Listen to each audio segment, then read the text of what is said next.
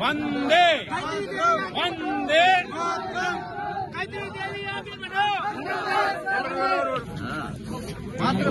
युवा शक्ति जो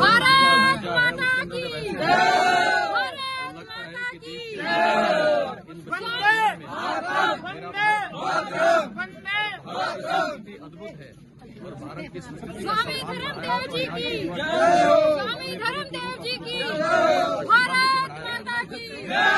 भारत माता की। वंदे वंदे। स्वामी धर्मदेव जी की। कृपा करेंगे इसमें पूरी सफलता मिलनी है लक्ष्य पवित्र है पवित्र संकल्प जो होता है वो निश्चित रूप से एक दिन साकार होता है। मात्र वंदन पितृवंदन बहुत बहुत अनिवार्य विषय है। माता पिता का सम्मान सबसे बड़ा सम्मान होता है उन्हीं के अंदर देवी देवताओं का वास होता है। और माँ बाप का सम्मान करते हैं तो समझो हम अपनी मातृभूमि और देश का सम्मान करते हैं। बोलिए सनातन धर्म की भारत माता की बहुत ही सम्मानित मंच विराजमान। हमारे सनातन धर्म के संस्थापक, परम पूजनीय श्रद्धा योग्य महामंडलेश्वर स्वामी धर्मदेव जी के चरणों में मैं कोटि कोटि वंदन करती हूँ, अभिनंदन करती हूँ, स्वागत करती हूँ। जैसा कि आप सभी जानते हैं, और नाम से भी प्रतीत होता है, युवा बैठक। और मेरे सामने बैठे सभी क्रांतिकारी युवा भाइयों, मेरी मातृ शक्ति मेरी बहनें, बच्चियों और हमारी एक एक खबर को, हमारे एक एक विचार को दिखाने वाले हमारा चौथा स्तंभ, हमारे सोशल मीडिया के, प्रिंट मीडिया के, इलेक्ट्रॉनिक मीडिया के जो पत्रकार और छायाकार बंधुए बैठे हैं, इनको, इनका इस सभागार में अभिनंदन है, स्वागत है। युवा बैठक में जो कार्यक्रम हमने स्वामी धर्मदेव जी के सानिध्य में, सनातन धर्म, जिसमें हम पाँच मोतियों को लेकर एक माला में पिरोने का कार्य कर रहे हैं, और जिसका आगाज़ हिसार से हमारे माननीय मुख्यमंत्री हमारे स्वामी, हमारे धर्म गुरु, धर्मदेव जी ने किया। ये एक ऐसा पाँच मोती जो हर युवा के लिए प्रेरणा बने हुए हैं।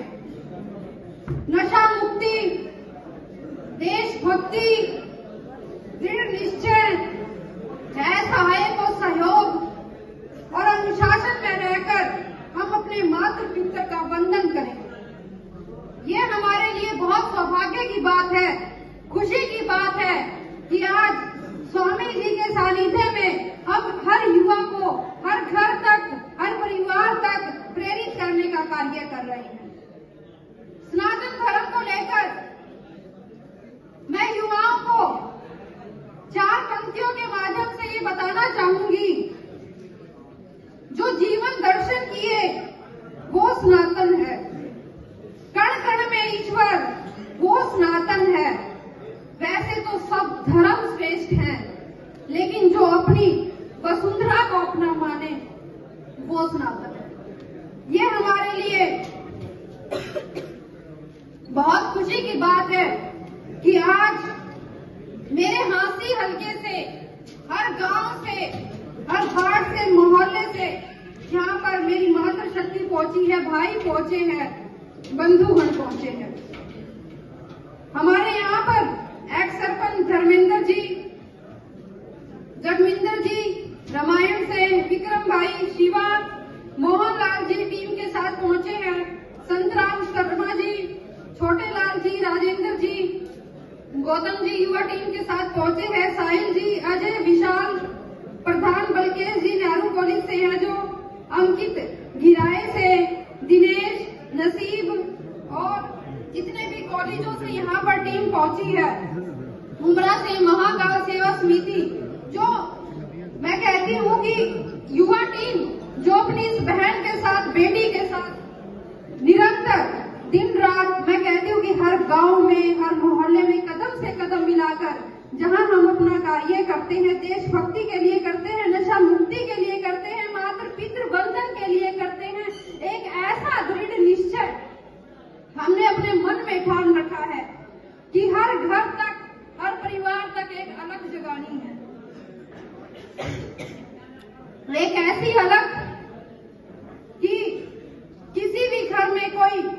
ऐसी दुर्घटना ना हो। पीछे हमने देखा कि एक सूर्य नगर में, हिसार में, एक भाई नशे के कारण चला गया, एक इकलौता पुत्र था अपने माता पिता का। कितना दुख हुआ होगा उस माता को, उस पिता को, जिन्होंने अपने एक इकलौते पुत्र को खो दिया। ऐसी दुर्घटना किसी के साथ ना हो, ऐसी विपता किसी के साथ ना आए, ऐसा दुख किसी के साथ ना आए। इसी का बीड़ा हमारे स्वामी धर्मदेव जी ने उठा रखा है कि हर घर हमें रोशन करना है बात आई तो मैं एक बात कहूँगी कि जिस जिन 500 वर्षों से हम अपने राम लला को अपने घर में लाने के लिए उत्साहित थे और आज 22 जनवरी का दिन वो दिन आया कि हम अपने राम लला को अपने घर में ला सकते हैं अपने राम लला को हम अपने प्राण प्रतिष्ठा करके अयोध्या में अपने घर में दोबारा से दिवाली मना सकते हैं अपने दियो के साथ अपने घर को जग- जगमग करें, अपने घर को रोशन करें, अपने परिवारों को रोशन करें, अपने समाज को रोशन करें, अपने भारत को रोशन और स्वामी जी के बारे में मैं जितनी बातें कहूँ, उतनी बातें कम है। आज जैसे ही आप सब भी यूट्यूब पर देखेंगे स्वामी जी के बारे में तो आपको देखने को मिलेगा कि कितने ऐसा है, ये वर्ड यहाँ पर ऐसे ही नहीं लिखा गया। स्वामी जी ने बहुत सारे ऐसे शिक्षण संस्थान खोल रखे हैं, जिनसे हमारे युवाओं को शिक्षा मिलती है, दीक्षा मिलती है। बहुत सारे ऐसे स्वास्थ्य के क्षेत्र में इन्होंने कार्य किए हैं कि जहाँ अस्पताल मिलते हैं, वहाँ पर जो हमारे, मैं कहूँगी कि असहाय लोग हैं, उनका इलाज होता है। ये हमारे लिए बहुत खुशी की बात है कि देशभक्ति से ओत प्रोत हमारे स्वामी जी दिन रात हमारे बीच में रहकर हमारे लिए हमेशा तत्पर रहते हैं कि मेरे देश का भविष्य जो युवा साथी हैं युवा भाई हैं हमारा परिवार है वो कैसे खुश हो सके कैसे जगमग हो सके अनेकों आश्रम रुद्रपुर की करें, पटौदी की बात करें, दिल्ली में बात करें कोटा में बात करें, हर जगह स्वामी जी ने अपने आश्रम बनाए हुए हैं ताकि हम जैसे लोगों को, हम जैसे लोगों को बुद्धिजीवी लोग बना सके पर प्रबुद्ध लोग बना सके। ये हमारे लिए, हम सबके लिए बहुत खुशी की बात है सौभाग्य की बात है कि आज झांसी में स्वामी धर्मदेव जी के कदम हम सबके बीच में है हम सबको आशीर्वाद देने के लिए यहाँ पर पहुँचे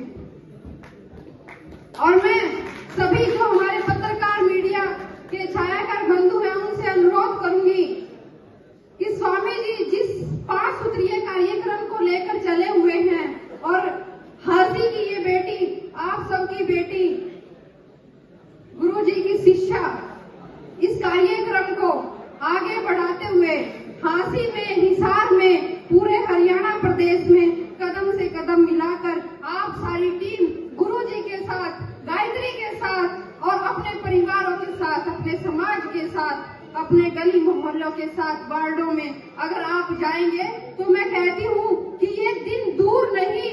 जब हम विकासशील से विकसित राष्ट्र की तरफ़ अध्ययन कर रहे हैं, और उसकी ओर बढ़ रहे हैं। हम एक ऐसे राष्ट्र, एक ऐसे राष्ट्र सौपरी की बात करते हैं, बातों से काम नहीं चलेगा। काम करना होगा। जब हम काम करेंगे, धरातल पर आकर काम करेंगे, तभी हम अपने राष्ट्र को आगे ले जाकर अपने हांसी का, अपने हरियाणा का, अपने भारत का, देश का गौरव बढ़ा सकते हैं। ये देशभक्ति बातों में नहीं, दिलों में ज़िंदा होनी चाहिए। मैं एक बात हमेशा कहती हूँ कि भरा नहीं जो भाव से, बहती जिसमें रसधार नहीं, रीते नहीं वो पत्थर है जिसमें अपने देश के लिए प्यार नहीं। जब भी कोई ऐसा 15 अगस्त आ गई 26 जनवरी आ गई बहुत सारे लोग मीडिया में सोशल मीडिया में स्टेटस लगाना शुरू कर देते हैं। वो स्टेटस आप अपने दिमाग में और अपने दिलों में क्यों नहीं लगाते? क्यों नहीं? दिन रात आप सुबह से लेकर शाम तक एक अच्छी बात को ग्रहण कर कर हमारे समाज की नींव को मज़बूत बनाते हैं।